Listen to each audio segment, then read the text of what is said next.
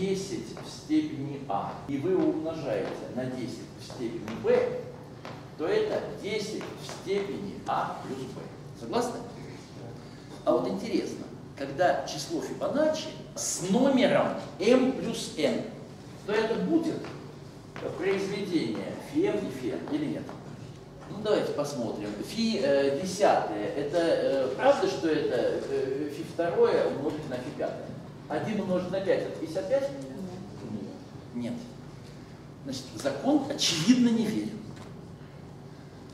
Может, он и не верен, но очень хочется придумать примерно такую формулу. Такая формула очевидно неверна, но, но повторяю, нам очень хочется э, сводить задачу о числах Фибоначчи. Имеется в виду следующее, что когда берешь число Фибоначчи э, с каким-нибудь номером, скажем, вот там э, 12 число Фибоначчи, как э, 4 и 8, то вот, вот 3 умножить на 21 это не 144, согласны? Да. Согласны.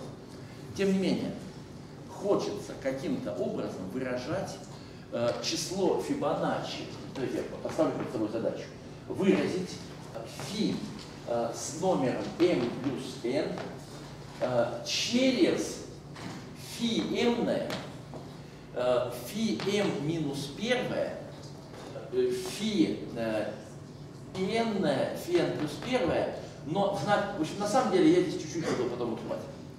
Э, оказывается, что если вы посмотрите для маленьких n, то очевидным образом все будет хорошо. Смотрите, фи m плюс первое. Это фи m плюс фи m минус первое. Получилось? Через вот эти два. Получилось. Что такое фи m плюс второе? Это вот что такое. Надо взять э, фи m плюс первое плюс фи m. То есть будет 2 фи m плюс фи m минус первое. Отлично. Э, что такое будет фи m плюс третье? Э, это сумма фи m плюс второго и фи m плюс первого. Надо сложить вот эти штуки. Это будет 3 фи m плюс 2 фи m минус первых. Так вот, если вы дальше посмотрите, то вы обнаружите, что когда фи m плюс четвертое, то надо опять, естественно, складывать. И у нас получается 2 плюс 3, удивительным образом 5. А 1 плюс 2 – 3. Вот. И значит, формула φ m плюс n звучит следующим образом. Есть φ m с каким-то коэффициентом, φ m минус первое с каким-то коэффициентом. Осталось понять с каким. Значит, смотрите, когда было m плюс первое, то есть э, у нас n равнялось единице, то здесь были коэффициенты э, фи первое и фи второе, это единицы. Да? Значит, я здесь должен написать э, где-то фи где-то э, фи n плюс первое. Давайте смотреть где. Значит, вот этот вот коэффициент при фи n, он побольше. Значит, имеет смысл здесь написать фи n плюс первое. А вот этот коэффициент, он поменьше. Здесь фи n.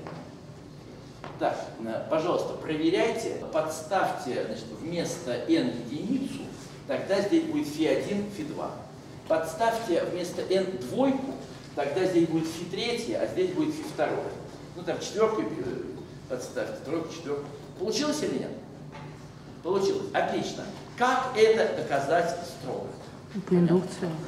Э, Мы уже проверили эту формулу для первых четырех значений числа n. Дальше мы просто пишем, что пусть мы знаем ее для n и для n плюс 1. Докажем для n плюс 2. То есть от э, двух чисел к следующему. Представьте себе, что мы уже знаем такую штуку. Здесь n плюс 1, здесь m минус 1. Э, Что мы делаем? Да очень просто. Складываем. Когда вы складываете здесь, то получаете просто по определению чисел Фибоначчи фи с номером m плюс n плюс 2. Когда вы складываете здесь, то вы получаете фи n плюс 3 умножить на n. Складываете здесь, получаете n плюс 2. Вот и все. Таким образом, у нас есть формула,